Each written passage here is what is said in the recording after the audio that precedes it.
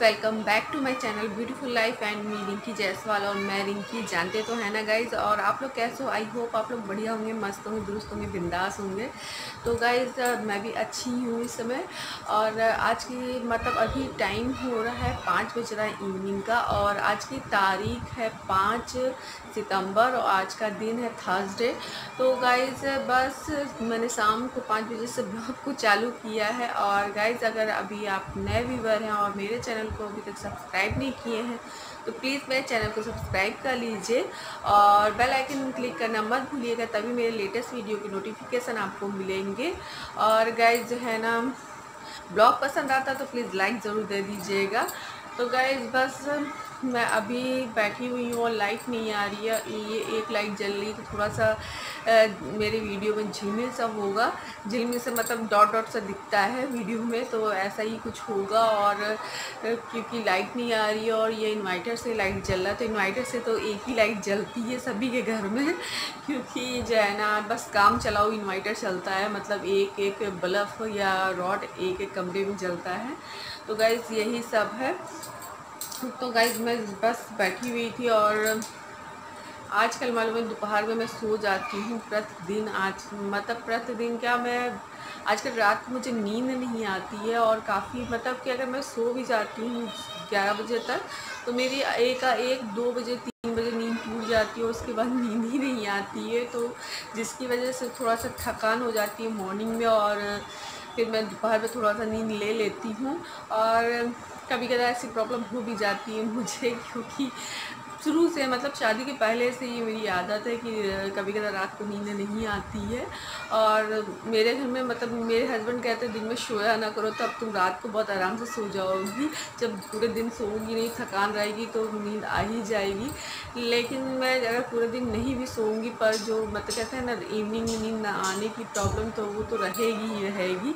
तो गई यही सब है, लेकिन मुझे कोई प्रॉब्लम भी नहीं है, मेरे हेल्थ को कोई नुकसान भी नहीं है, रात को जगने की वजह से। क्योंकि मैं 11 बजे तक 11 बजे तक सो जाती हूँ और मेरा जो है ना, दो ढाई बजे तक, तीन बजे तक नींद टूटती है तो थोड़ा बहुत तो नींद कंप्लीट हो ही जाती है और फिर मैं मॉर्निंग में थोड़ा सा कवर कर लेती हूँ, पाँच बजे मुझे नींद आ जाती है तो फिर मैं आराम से जो है ना सात बजे, आठ बजे सो के उठ जाती हूँ। तो बस यही सब है और आजकल मेरी क्या मेड आ रही है तो मुझे बड़ा आ, मतलब हेल्प मिल रहा है। मतलब मॉर्निंग में वो एक टाइम ही आती है झाड़ू पोछा बर्तन सब कुछ करके चली जाती हो। मेरा लंच भी कंप्लीट हो जाता मतलब बन जाता है उसके आने से पहले क्योंकि मैं शॉप जाती नहीं तो मेरे हस्बैंड लंच ले के जाते हैं। तो बस इसलिए मैं मॉर्निंग में ही सारा लंच बना देती हूँ दस बजे तक कि मेरे हस्बैंड साढ़े दस बजे तक लेके चले जाए। आज तो मेरे हस्बैंड नौ बजे के करीब में शॉप चलेगा और नौ बजे तक मैंने पूरा लंच कंप्लीट करके उनको दे भी दिया। और फिर एक घंटा मुझे इंतज़ार करना पड़ा मतलब अपनी मेड का। और वो दस साढ़े दस दस साढ़े दस बजे के करीब में ही आती है और उसने ही कहा था कि इससे पहले क्योंकि उसके पास टाइम नहीं है और बहुत सारे मतलब घरों में लोग करती हैं काम तो जिसकी वजह से टाइम नहीं उनके पास खुद होता है। हाँ हाउस वाइफ के पास बहुत टाइम होता है, पर कहते हैं मेड के पास बिल्कुल टाइम नहीं होता है तो बस उनके टाइम में ही मैंने थोड़ा सा एडजस्टमेंट करके अपने आप को एडजस्ट कर लिया है। साढ़े दस बजे तक वो आ जाती है ग्यारह, साढ़े ग्यारह बजे तक काम करके चली भी जाती है। तो बढ़िया रहता है, मेरा हेल्प भी हो जाता और मुझे ज़्यादा टेंशन लेने की ज़रूरत नहीं पड़ती क्योंकि, आजकल मैंने बताया ना कि मेरा लीवर जो है ना, बहुत ज़्यादा प्रॉब्लम कर रहा था, जिसकी वजह से मुझे बड़ी थकान सी हो जाती थी और इसकी वजह से मैंने रख भी लिया था मेड को क्योंकि जब हेल्थ में जो है ना प्रॉब्लम होने लगती है तो फिर घर का काम भी करना ज़रूरी होता है।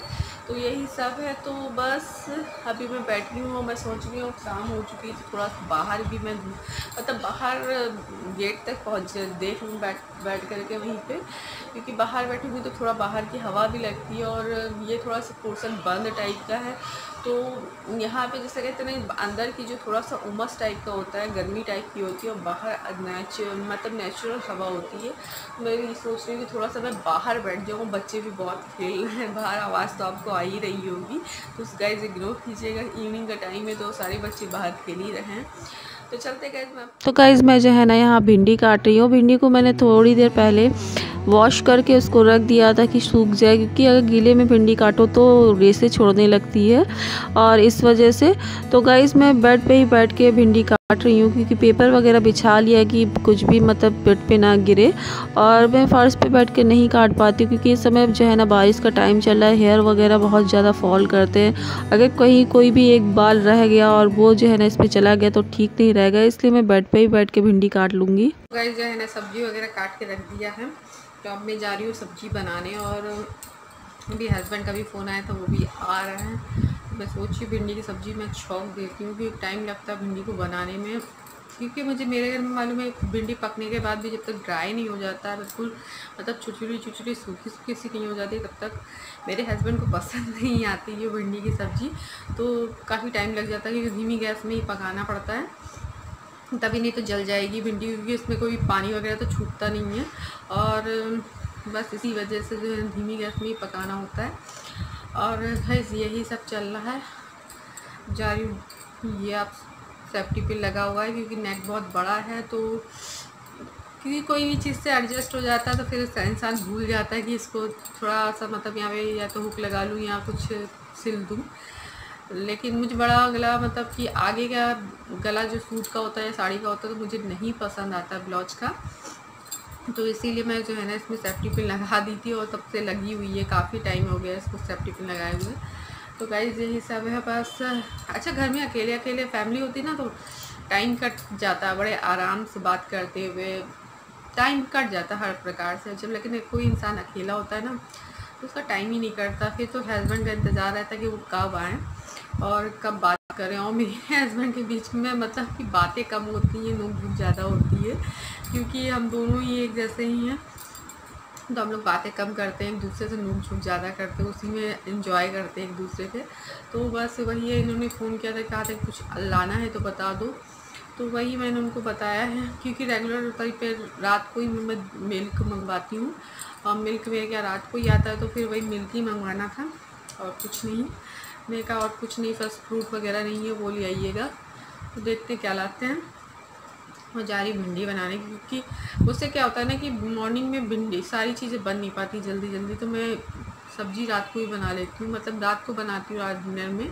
और मॉर्निंग में जो आसान होती है मतलब तरुई है या आलू है या इस टाइप की कोई सब्ज़ी होती तो वो भी बना लेती हूँ। आज मैंने बनाया था टमाटर आलू की सब्ज़ी और जिस टाइप से मुझे खाने का मन था मतलब आलू में टमाटर बिल्कुल खट्टा खट्टा सा आलू का सब्ज़ी हो ग्रेवी हो और वैसे ही इस्तफाक से बन गई।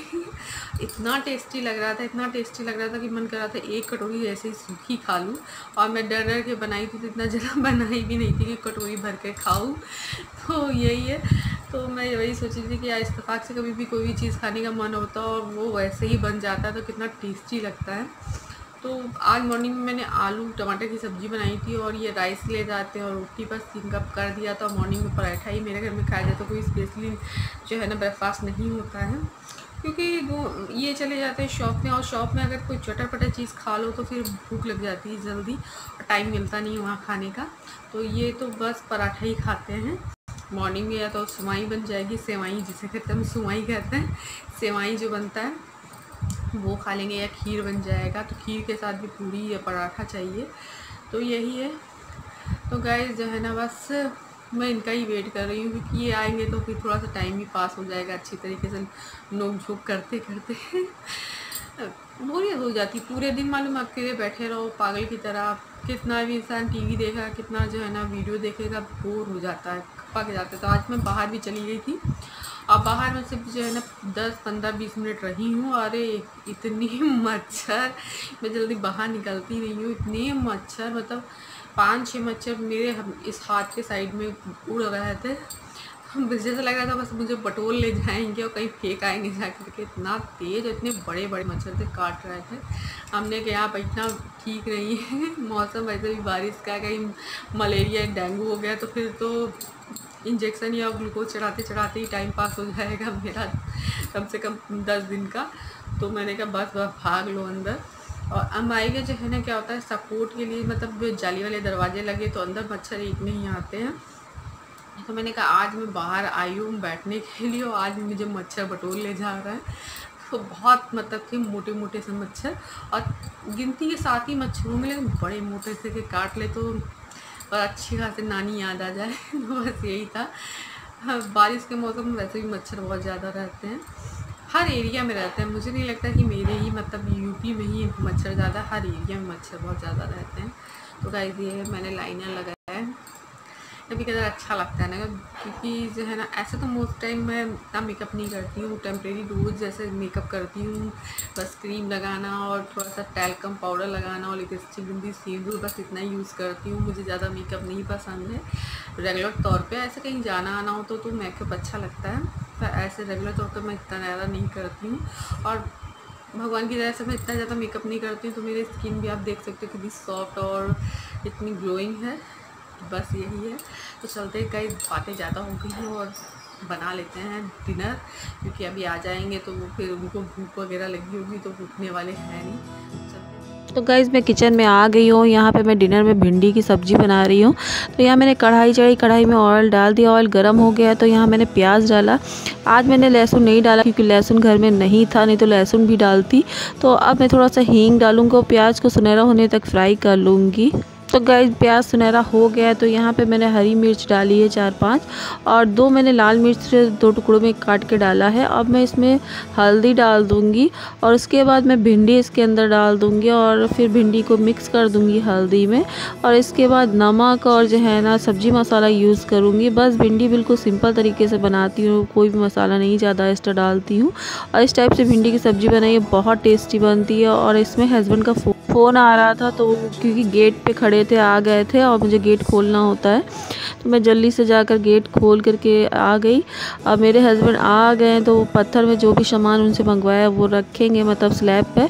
और आप सबसे हाय बोलेंगे तो गाइज़ तो गाइस, जो है ना, भिंडी की सब्ज़ी तैयार हो गई है और ये देखने में जली जली लग रही है, पर ऐसा है नहीं है, ये फ्राई है, क्योंकि धीमी गैस में मैंने इसको पकाया है और मेरे हस्बैंड को ऐसी भिंडी पसंद है, उन्हें जो है ना, आज मैं रोटी नहीं बना रही हूँ, आज पराठा बना रही हूँ, क्योंकि मेरे यहाँ सूखी सब्ज़ी के साथ पराठा ही बनाया जाता है और रात को पराठा खाना नहीं चाहिए, क्योंकि बादी होता है, पराठा भारी पड़ता है पेट के लिए, लेकिन हमारे यहाँ जब भी सूखी सब्ज़ी बनती है डिनर में तो जो है ना, पराठा ही खाते क्योंकि रोटी बहुत सूखा सूखा सा लगता है और मेरे मेरे हस्बैंड भिंडी की सब्ज़ी या कोई भी सूखी सब्ज़ी होती तो उसके साथ चाय ज़रूर बनवाते हैं।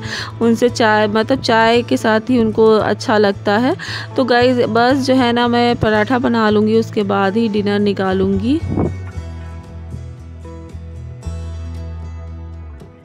गाइज़ मेरा डिनर तैयार हो चुका है। भिंडी की सब्ज़ी है, प्याज है, पराठा और चाय है। तो गाइज़ ये मेरा आज का डिनर तो आप लोग भी जल्दी से आ जाइए और मेरे हस्बैंड जो है ना, सूखी सब्ज़ी के साथ चाय ज़रूर लेते हैं। तो गाइज़ इसलिए चाय भी मैंने बना दिया है। तो ये मेरे हस्बैंड की प्लेट है और गाइज़ ये इस ब्लॉग का मैं यहीं पेंट करूँगी। आई होप आपको आज का ब्लॉग पसंद आया होगा। अगर पसंद आया तो प्लीज़ मेरे चैनल को सब्सक्राइब कीजिए, ब्लॉग को लाइक दीजिए और मैं मिलती हूँ अपने नेक्स्ट ब्लॉग में। तब तक के लिए bye thank you for watching अपना ख्याल रखिएगा।